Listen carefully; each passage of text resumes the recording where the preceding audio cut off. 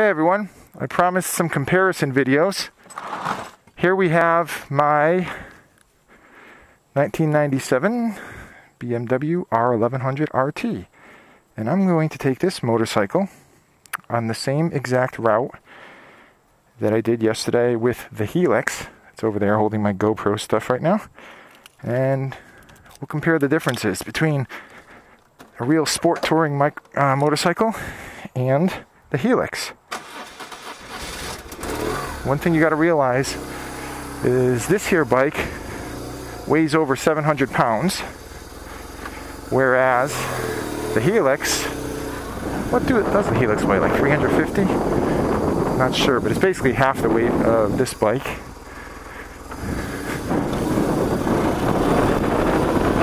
This bike, of course, has gears. Sorry if I had my um, face shield in the way, the microphone before. See how my angle is? Down a little bit. I think we're still good.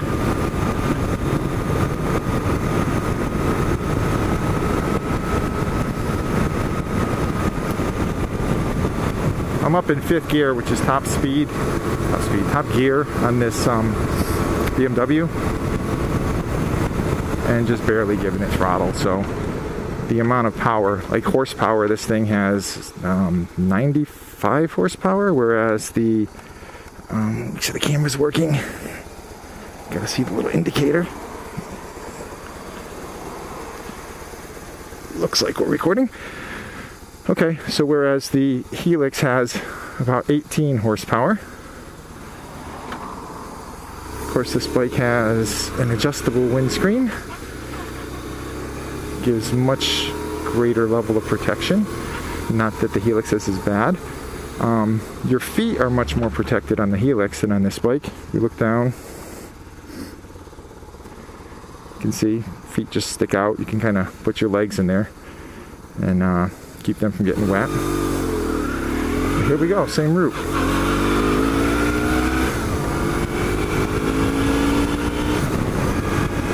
Now the feeling of the acceleration, or you could refer to it as a torque, is a lot better on this bike, but then again you have to shift. And that takes some doing, more concentration. have to think about my riding more. Actually, it becomes automatic after a while once you've been riding.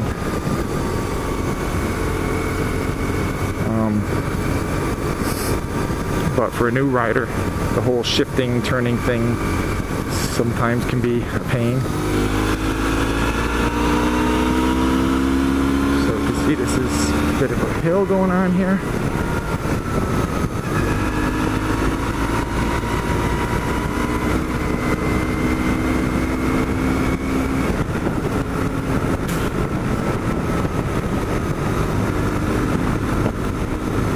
Suspension on this motorcycle is tighter. You feel the small bumps more. However, on the larger bumps, uh, this thing absorbs it. This BMW absorbs them much better. Doesn't feel like it's working so much, and it doesn't get you so unsettled in the corners. Whoa! There we go. Anti-lock brakes almost had to kick in. Should have known what they meant by that mowing ahead sign.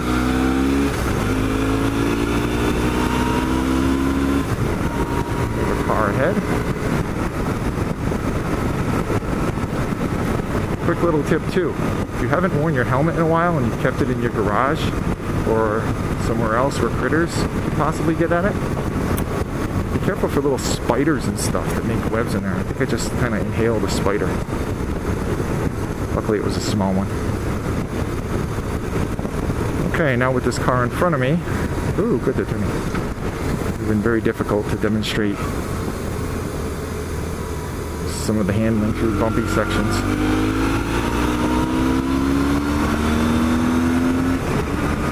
Now you'll see how this road undulates. Yesterday the Helix was being uh, moved around quite a bit by those undulations.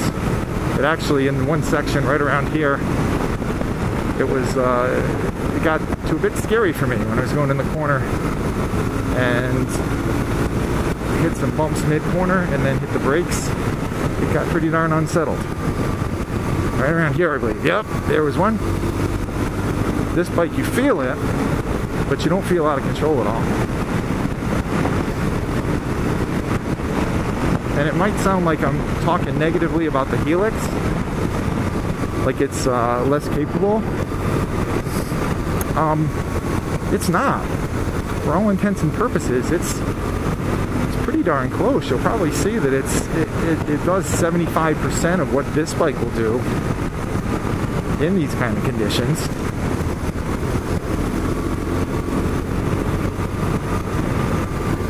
on a twisty, turny, bumpy road, I wouldn't try flogging it too hard with a passenger on it. That would overwhelm the suspension. Even even a good tight suspension for the Helix. This bike here, not much of a problem.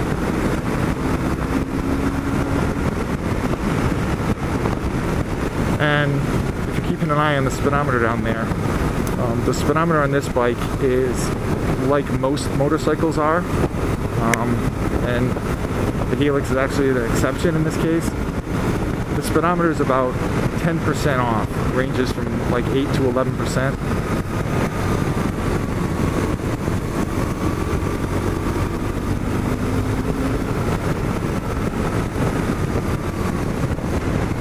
And the top speed on this motorcycle. This two cylinder air and oil cooled engine just in case you wanted to know, in my personal experience is about, let's see, somewhere around like 117, 118 miles an hour actual. I got it up to like 128-ish mm, indicated.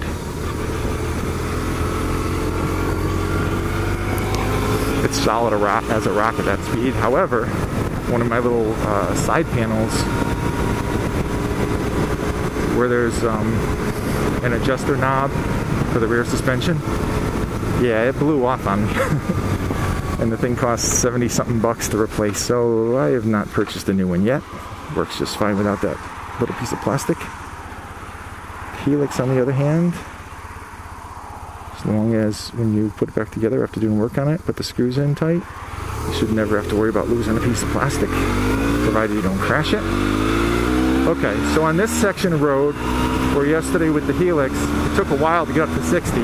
I was just at 60 right there with about half throttle. Not much work at all.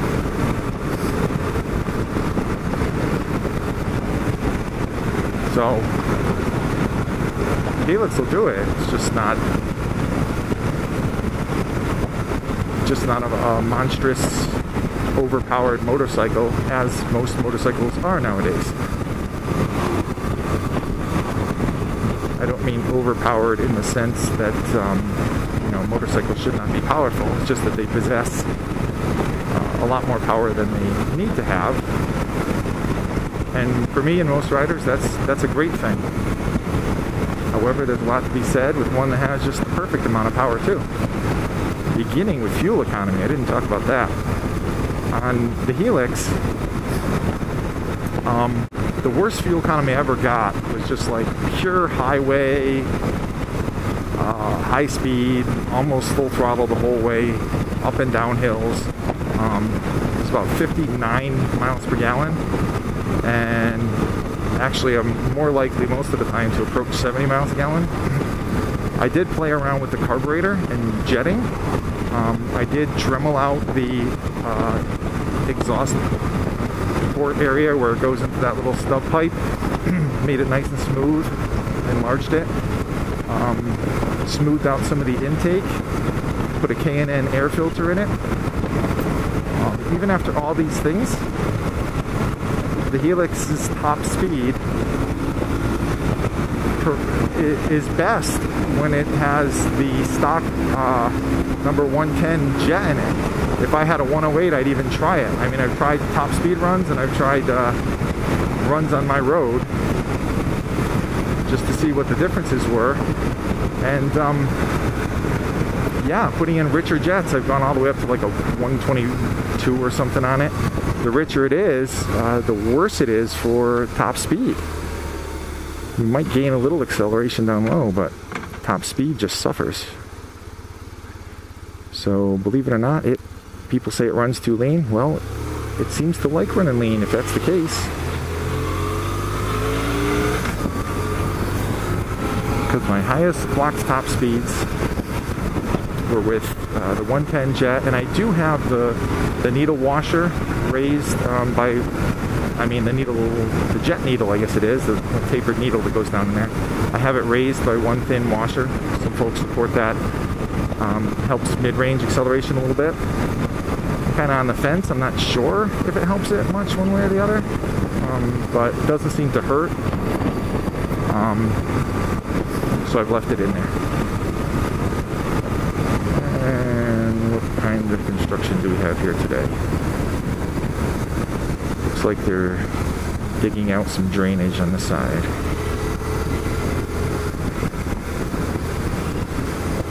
Ah, cleaning the muck.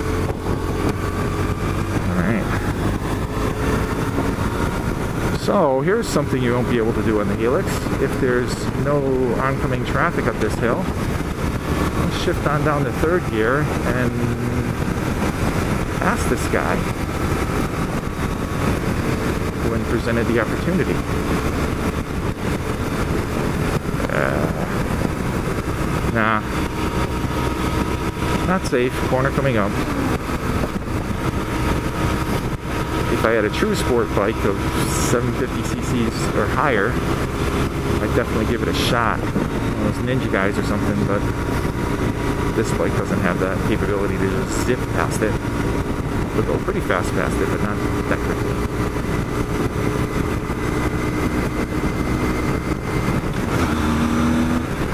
Ah, do it, but saw the car coming.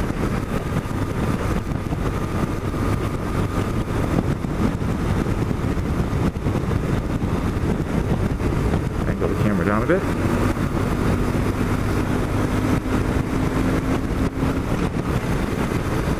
I think. Do Passing zone down this hill? I'm not sure, but if I do, I'm going to try it. Up the top where it plateaus now.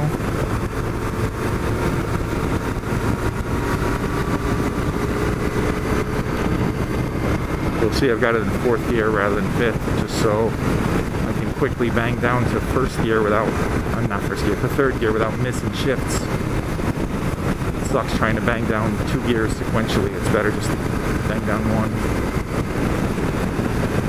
Let's see how this looks here.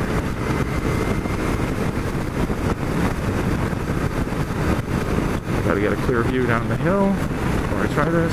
And this sucks. Oh well.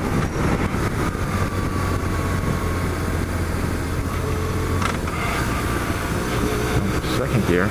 There we go. This will do it.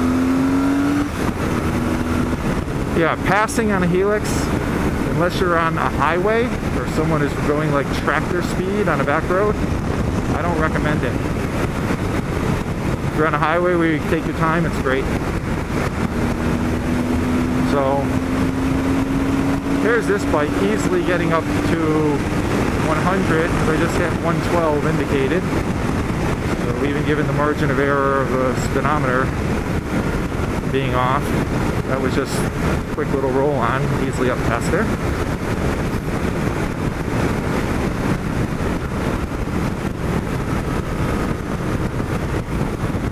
And if this minivan goes through the corners with any speed, I'll be able to show you how the BMW handles this. If the corner is a nice smooth corner with no bumps or anything, the Helix feels really great in it. I've got no complaints. However, as soon as the road starts to um, get bumpy or undulate, you know, I do back off a bit on, on the Helix. Well, back off a bit on any bike, but um, with this BMW, um, I'll, I'll definitely charge in with more gusto. And uh, as you know, you should always roll on power through a corner. never let off the gas or never hit the brakes you can avoid it, especially if you think you're um, leaning too far and you're not going to make the corner. Sounds ironic, but the thing to do is to lay it down more and give it more gas. Um, as soon as you let off the throttle, the bike is going to have a force trying to stand it up. And if you're nailing the brakes, not only will it try to stand up and go wide and crash you into the woods or whatever's on the side of the road, um, you may totally lose traction in low side or even high side, worst ever, um, because there's two different forces of traction on your tires. You've got your uh, you've got your contact patch, which is like the one square inch on each tire that is uh, in contact with the road at any one point in time, and the force that it can adhere to the road with um, can can be, let's say that it's a unit of 100. Um, you can use that unit of 100 either for uh, braking slash acceleration if it's just the rear tire, um, cornering, or a combination of both, but it still just equals 100. So if you're using 85% of that in a corner, and then you hit the brakes needing about 50% brakes, you're now up to 135% and your tires don't have it. And that's where they slide and you have an accident. So, remember that, boys and girls. When cornering, if at all possible, don't brake. Give it the gas. Do all your braking before you come to a corner. You can always speed up in it.